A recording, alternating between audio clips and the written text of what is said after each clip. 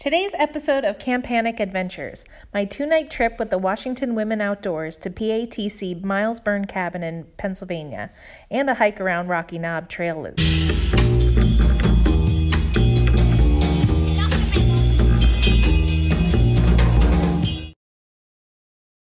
The cabin was in great shape and had a wood stove and privy up the hill.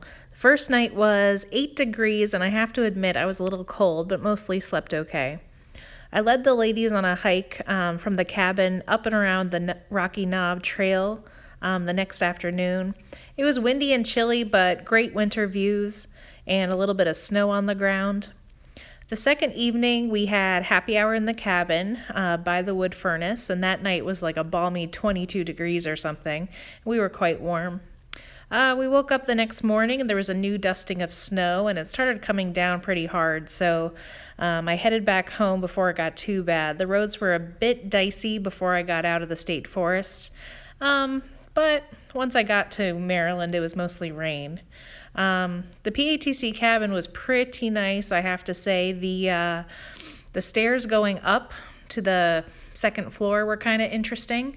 You had to um, each side, each foot kind of did its own thing, so it was kind of interesting getting things up and down the stairs.